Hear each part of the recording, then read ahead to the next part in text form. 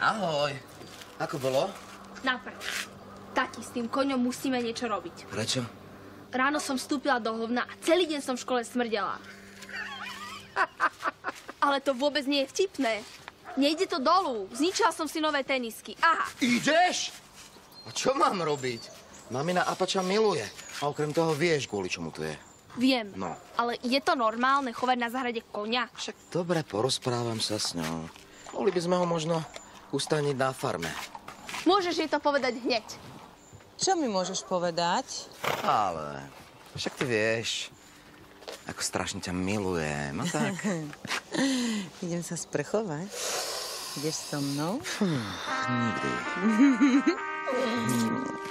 Kika. Super.